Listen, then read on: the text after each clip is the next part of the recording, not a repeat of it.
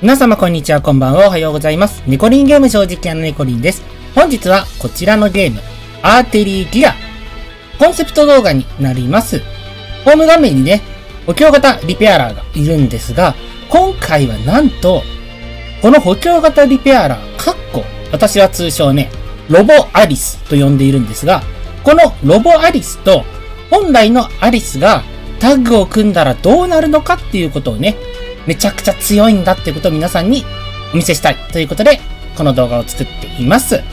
ということで早速なんですが、どんなコンセプトでいくのかというのを編成でお見せしたいと思います。こちらが今回お見せするコンセプトになります。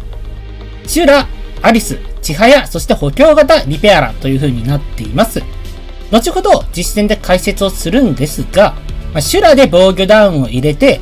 チハヤをアリスと補強型リペアラー、かっこロボアリスで加速してしまって一気にフォーレンナイトを倒そうっていうような動画になっています。少しだけ性能を見ていきたいと思いますが、まず、おさらいということで前回補強型リペアラーについて触れましたね。こちらが支援騎兵補強型リペアラーなんですが、特筆すべきはこちら。救急救命装置。これですよね。味方治療してターゲットの HP 回復、さらに追加ターンを与え、2ターンの間自動回復状態を付与するということで、再度行動することができるスキルを持っている。ということで私はこれを攻撃力増加はついていないんですが、アリスが持ってない人がめちゃくちゃ助かるということで、ロボアリスという風に呼んでいます。私もね、レベル50までアリスを全然引けなかったので、この子にはめちゃくちゃお世話になりました。まずはこの子。そして次がアリスです。つい先日、やっと引くことができたザ・タイムアリスになります。アリスといえば今回コンセプトに使うのは皆さん、もうご存知でしょう。こちら週末の時計ということで、味方1ターンに追加ターンを付与する。そして2ターンの間、攻撃力アップ状態を付与する。さらに自身の行動力20%前進ということで、これがマジでやばいんですよ。この攻撃力アップね。プラス50%が乗るということになります。これがどんだけやばいのかっていうのをお見せしたいと思います。そして最後、今回のトリガーになるのがシュラです。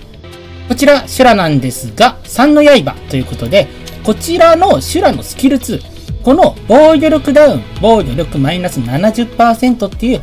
これのおかげで成り立つコンセプトとなっています。まあもちろんシュラじゃなくてもいいんですが、防御力を下げてくれるキャラクターが必要です。そして今回の編成なんですが、速度調整を行っています。初手にシュラが動けること、そして2ターン目にアリスが動けること、ということをコンセプトに速度調整を行っていますので、ぜひとも皆さんにこの強さを見ていただけたらいいなと思っています。そして最後、千早なんですけれども、装備に関しては、まだ途中です。テーゼ装備で作っています。まあ、あの、テーゼで手に入るような星6装備というね、会心系のものとか攻撃系。まあ、今までに手に入るアタッカーにとってね、誰もが持っているような装備を使っています。まあ、まだプラス10とかプラス12の段階なんですが、これをマックスにした場合は、後ほどの動画で解説してるんですが、もっと恐ろしいことが期待できるかなというふうに思います。まあ、この装備だったらね、誰でも作れる感じだと思いますので、きちんとテーゼもクリアしているよっていう方であれば、千早の攻撃力と会心はもっとすごいものになっているかと思います。私はまだ発展途上ですので、今回はこの千早を使っていきたいと思います。というのが、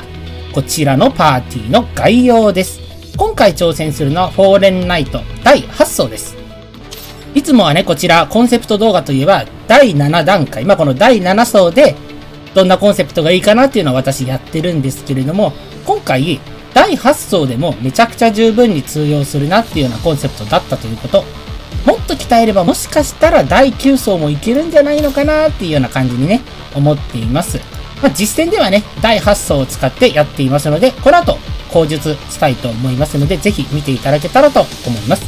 果たして、今回のコンセプト、通称、ダブルアリス構想ということで、まあ、私が勝手に名付けた構想なんですけども、一体どのようなものなのか、ぜひご覧ください。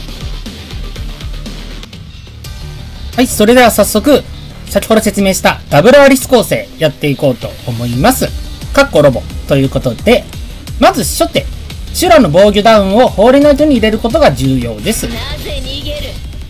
あ、防御ダウンが入りましたね。そしてこの後は、皆さんいつもやっていることだと思うんですが、アリスで、千早を行動ゲージ上げて、なおかつ火力を上げましょう。そしてここで重要なのが、千早を攻撃することです。さあ、会心ダメージで、大発想放れないというめちゃくちゃいいダメージが入りました。そしてこの後また千早のターンがやってきますので、叩きます。終わりじゃないんですよ、まだ。ここでもう一度千早をなんと、ロボが加速させます。そして千早が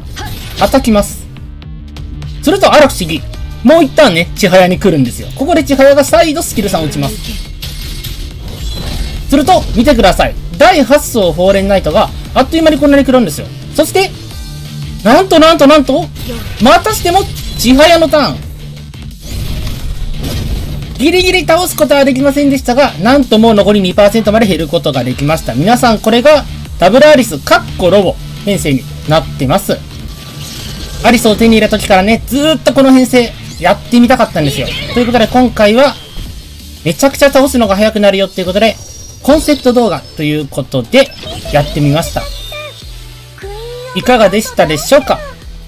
アリスが手に入らなくてね、ずーっとこの補強型リペアラーを使っていたんですが、アリスを手に入れた今なら、リペアラー×アリスイコール、まさか最強なのではということでやってみました。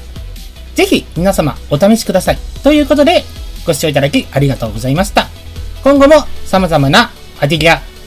やっていこうと思いますのでよろしくお願いいたします。それではまた別の動画でお会いしましょう。それでは皆さんさようなら。またね